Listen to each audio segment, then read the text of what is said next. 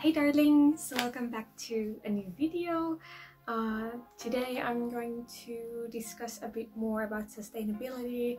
Uh, if you haven't seen my first uh, video about sustainability in Lolita fashion, I recommend you check that out first. Uh, I'll put a link or like something that you can click on so that you can go to the first video somewhere here. And yeah uh, sustainability is important topic to talk about but sometimes it may cause anxiety or other negative feelings. By talking this topic i'm not pointing fingers at anyone shaming anyone for their life choices or wanting to cause any discomfort in any level. I'm simply wanting to discuss different aspects of sustainability and raise awareness I'm not a professional in this field and I am constantly learning new things related to the topic. If you have any questions or ideas or opinions about things I'll be talking in this video, please feel free to leave a comment in the comment section down below. In this video, I'll be discussing my uh, opinions and experiences as a Lolita and as I mentioned in the first video, sustainability consists of three areas which are the economical, uh, environmental and social areas. And in today's video I will be discussing a bit more or concentrating a bit more on the social aspect of sustainability. In other words being sustainable towards other people. So I'll be considering some like dilemmas I have uh, experienced or I feel that some Lolita communities may have learning to reuse uh, clothes. So um, there is absolutely no shame in wearing uh, coordinates or the same exact coordinate more than one time. Uh, I feel like social media and like content creators and influencers are kind of like clouding our judgment in some way because it's their job to create new looks all the time and like just kind of like pumping uh, content for us to see uh, and to inspire us. And like in that sense there is nothing wrong with it but I think sometimes we kind of like lose the like idea that we don't as normal people we don't have to be like that. We have our own wardrobe and uh, they as their like as their job it's to like well they cannot keep everything that they are like having. So they're cycling or recycling their wardrobe. So they are selling old clothes from like because they're getting a lot of new clothes they're selling the old ones away. But this is kind of like it's a consumerism that like it's problem because it like makes us feel as consumers or as like people uh, that we should all the time have something new. It's also about like human psychology I think because like we are drawn to new things all the time and like it intrigues us to have something new all the time. But anyway this kind of mentality is not sustainable because like you should only buy things that you actually need and wear them a lot and just like wear them out. Trying to kind of like adjust to the idea that everything doesn't need to be fresh and new all the time and just like with the old old clothes or the clothing that you already have you can create fresh looks and new looks all the time if you just put some effort into it. Because I feel like coordinating one dress is like almost like a art form. It's not really easy but if you do it you just get more creative all the time. And I'm really happy that there has been this like challenge going around with like one dress for a court challenge so that you have one dress and then you coordinate it for different ways or even more.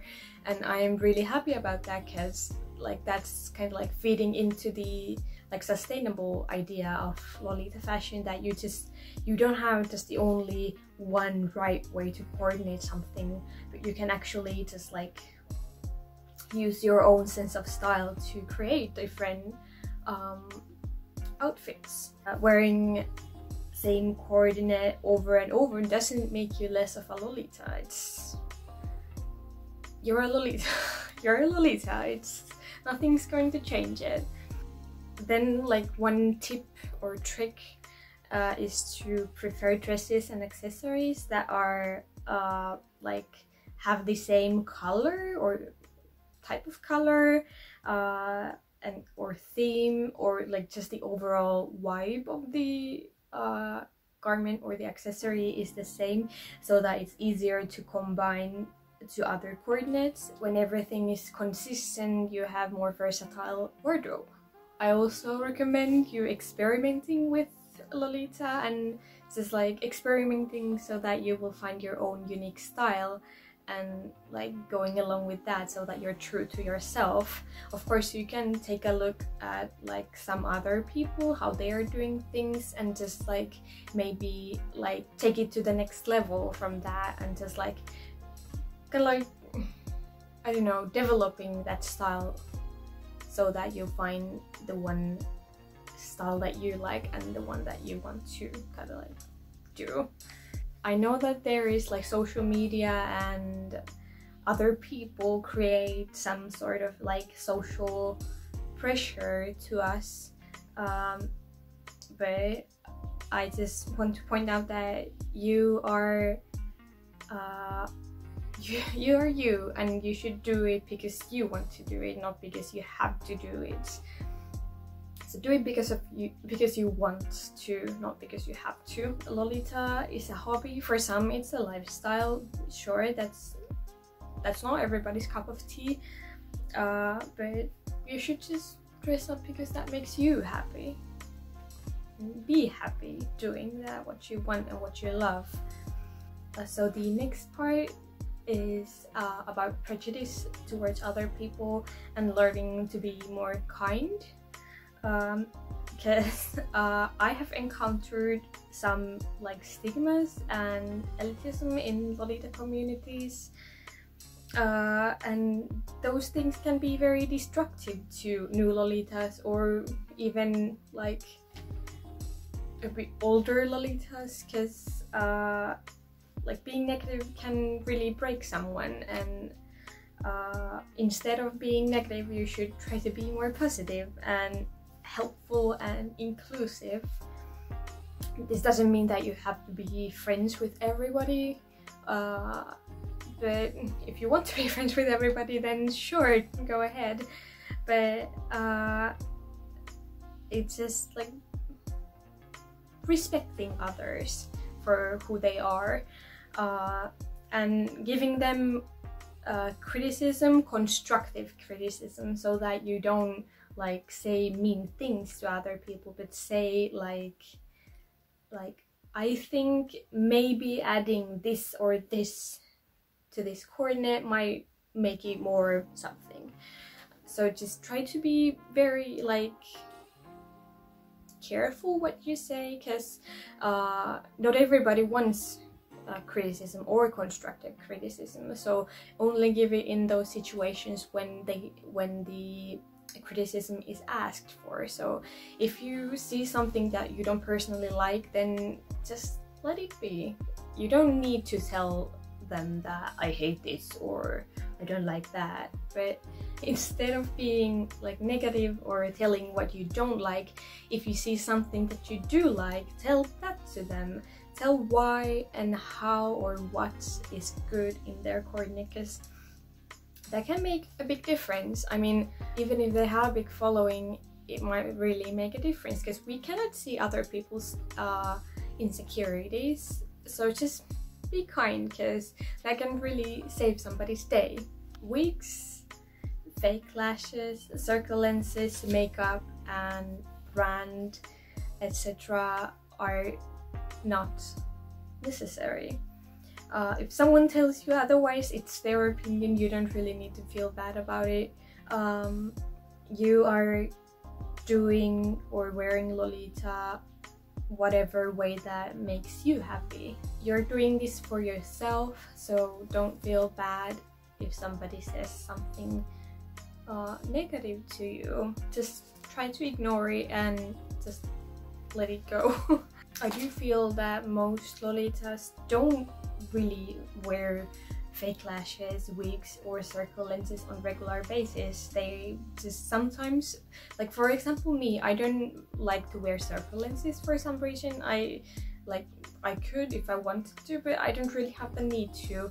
Uh, and wigs and fake lashes are just something that like I just like to add up so that it kind of like brings the look more like it helps to bring the coordinate together more I feel like most of the time like Lolita makeup also is very light. It might be just like a little bit of mascara and just like very uh, like subtle uh, eyeshadow and that's probably it. I mean uh, but anyway my point being here is that you should uh, do or wear Lolita whatever like do the way that makes you happy. You don't need to use any extra like accessories or anything. You can like or accessories i mean wigs fake lashes circle lenses etc that i mentioned already but like you don't need them to be lolita. I feel like this year has been very um informative. I have learned personally a lot and this is why I wanted to point out uh, and really like highlight this next part that skin color, uh, race, religion, disabilities, gender and sexual orientation don't really matter when it comes to Lolita fashion. Lolita is for everyone and it would be wrong to take that away because of somebody's uh, identity or the way they look. So I want to leave this as the like most important thing for this video um, because being sustainable towards other people is really about like accepting accepting them for who they are. I want you to spread some love and be uh, kind to others. And yeah. Oh, actually, now that I remember, uh, as I mentioned in the very first video that uh, I didn't get a summer job, that that situation has changed. So I am currently working uh, and because um, I'm working full time, it means that I have less time to work on the videos. I'm not sure if I will be able to make new videos every week, but I will try to. But yeah, I I hope to keep it at least once per two weeks thing. I hope you understand uh, that uh, I won't, maybe I won't be able to make uh, as much content as I would otherwise do if I wasn't working. But yeah, that's everything for today and I hope you enjoyed this video.